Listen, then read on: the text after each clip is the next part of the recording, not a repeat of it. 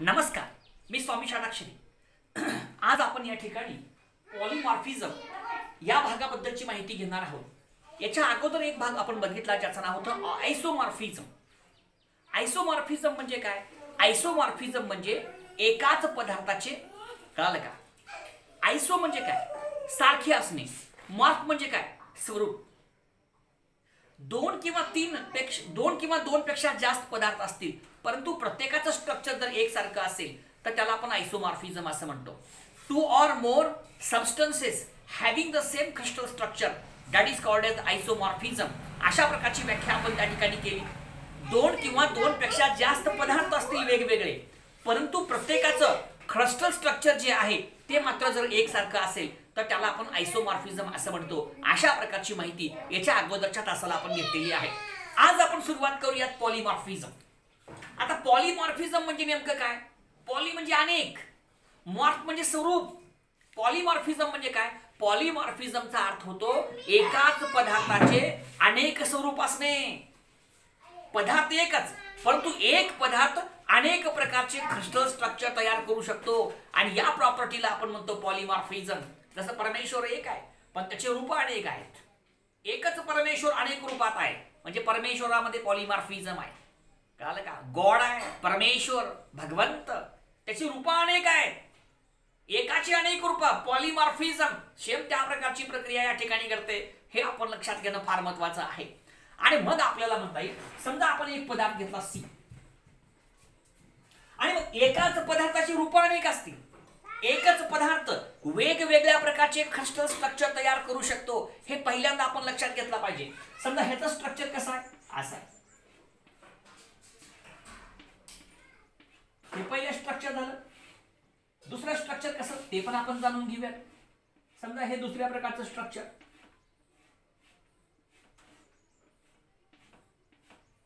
हे दुसऱ्या प्रकारचं स्ट्रक्चर समजा आणखीन कसं आहे? हे तिसऱ्या प्रकारचं स्ट्रक्चर कळालं तुम्हाला समजून घेण्यासाठी एक उदाहरण घेतलं आपण सोपं. पदार्थ एकच आहे. सबस्टन्स एकच आहे. ए सिंगल सबस्टन्स एकच पदार्थ वेगवेगळ्या स्वरूपामध्ये एक्झिस्ट करतो.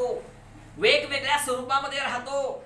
पदार्थाचं उदाहरण घेतलं आपण सी आणि सी हा पदार्थ या स्वरूपामध्ये राहतो या स्वरूपामध्ये राहतो या स्वरूपामध्ये राहतो. म्हणजे एक पदार्थ दोन किंवा दोन पेक्षा जास्त स्वरूपात आढळतो. आणि अशा प्रकारची जी प्रॉपर्टी आहे that is called as polymorphism त्याला पॉलिमॉर्फिझम म्हणतात. एक पदार्थ दोन किंवा दोन पेक्षा वेगवेगळ्या स्वरूपात जर आढळत असेल एक्झिस्ट करत असेल तर त्या प्रक्रियेला आपण काय म्हणत असतो? पॉलिमार्फिझम असं म्हणत असतो. आणि मग त्याचं उदाहरण आपण या ठिकाणी तुमच्यासमोर घेतलेलं आहे. आणि मग त्या ठिकाणी म्हणता येईल आपल्याला त्याची डेफिनेशन करता येईल तो शब्द आपण डिफाईन करू शकतो. A single substance a single substance exist in two or more forms or crystal structure is said to be polymorphism poly म्हणजे अनेक स्वरूपात आढळतो. मॉर्फ म्हणजे स्वरूप आहे. अनेक स्वरूप आहे. एका पदार्थाची अनेक स्वरूप. That is called as polymorphism आणि म्हणून त्याची व्याख्या सुद्धा त्या प्रकारे आपण केली. A single substance exist in two or more forms or crystal structure is said to be polymorphism त्याला पॉलिमॉर्फिझम म्हणतो. एक सिंगल सबस्टन्स एक सबस्टन्स टू ऑर मोर फॉर्ममध्ये एक्झिस्ट करतो. दोन किंवा दोन पेक्षा जास्त स्वरूपामध्ये एक्झिस्ट करतो. अस्तित्वात असतो. किंवा त्याचं जे क्रिस्टल स्ट्रक्चर आहे ते दोन किंवा दोन पेक्षा जास्त प्रकारचं आहे. अशा प्रकारची जर प्रक्रिया प्रॉपर्टी त्या ठिकाणी असेल तर त्याला आपण म्हणतो पॉलिमॉर्फिझम अशा प्रकारे पॉलिमॉर्फिझमची प्रक्रिया या ठिकाणी आपल्याला करता येते. पुढे आपण जाऊ. आता उदाहरण दिले. आता तुमच्यासमोर एक उदाहरण आहे कॅल्शियम कार्बोनेटचं कॅल्शियम कार्बोनेट हा दोन स्वरूपात आढळतो. पहिलं स्वरूप कॅल्साईट अँड दुसरं अरॅगोनाइट म्हणजे calcium carbonate exist in two forms so these two forms are polymorphs हे दोघं पॉलिमॉर्फ झाले. पॉलिमॉर्फिक फॉर्म्स आहेत ते. एकाच पदार्थाचे दोन वेगवेगळे स्वरूप आहेत. हे पहिल्यांदा आपण लक्षात घ्या. आणि मग calcium carbonate exist in two forms out of that first one is the calcite and the next one is the aragonite these are the two different forms of a single substance and that single substance is the calcite calcium carbonate. Similarly, silica is a single substance and this silica exists in three different forms. And these three different forms are here. Alpha quartz, beta quartz, crystallobolite. म्हणजे हा एक पदार्थ दोन स्वरूपात आढळतो. हा एक पदार्थ तीन वेगवेगळ्या स्वरूपात आढळतो. आणि तुम्हाला माहीत आहे जर एक सिंगल सबस्टन्स दोन किंवा दोन वेगवेगळ्या स्वरूपामध्ये आढळत असेल तर त्याला आपण काय म्हणतो? त्या प्रॉपर्टीला पॉलिमॉर्फिझम असं म्हणतो. अशा प्रकारची पॉलिमॉर्फिझमची प्रक्रिया या ठिकाणी आपल्याला एक्सप्लेन करता येते. अजून एक महत्त्वाचा कन्सेप्ट आपण लक्षात घ्यायचा आहे. पॉलिमॉर्फिझम डेव्हलप का होतं? वाय पॉलिमॉर्फिझम इज डेव्हलप्ड ही प्रक्रिया घडण्याचं नेमकं कारण काय हे सुद्धा आपण लक्षात घेणं फार महत्वाचं आहे. आणि त्याच्या मागचं अगदी सोपं आणि सहज कारण आहे. काय कारण आहे? कंडिशनमध्ये आपण बदललो. कंडिशन चेंज केली. कळालं का? ते क्रस्टल तयार होत असताना त्या ठिकाणची परिस्थिती त्या ठिकाणची कंडिशन आपण जर बदलली तर तोच पदार्थ वेगळ्या स्वरूपामध्ये प्रगट होत असतो. हे आपण लक्षात घेणं फार महत्वाचं आहे. आणि म्हणून लक्षात घ्या तुम्ही.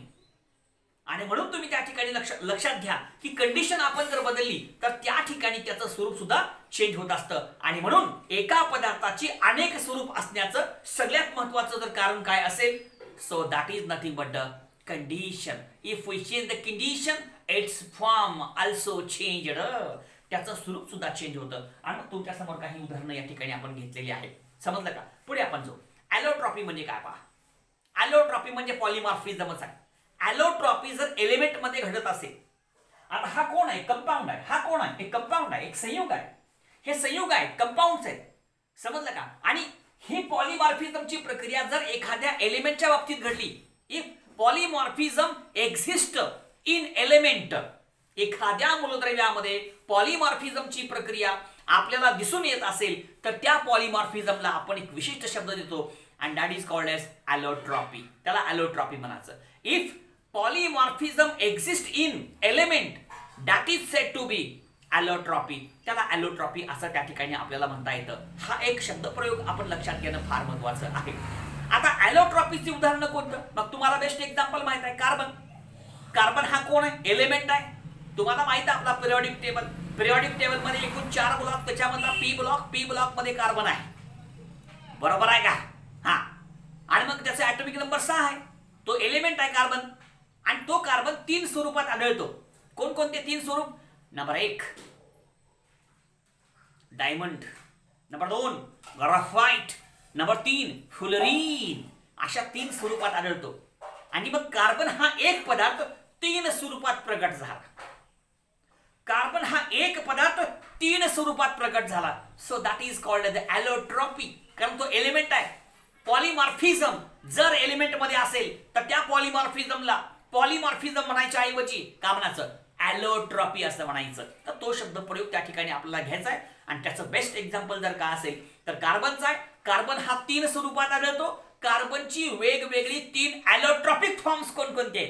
Three different forms of carbon आपल्याला माहीत असलं पाहिजे. नंबर एक ग्राफाईट नंबर दोन डायमंड नंबर तीन fullerene graphite carbon sorry graphite diamond fullerene.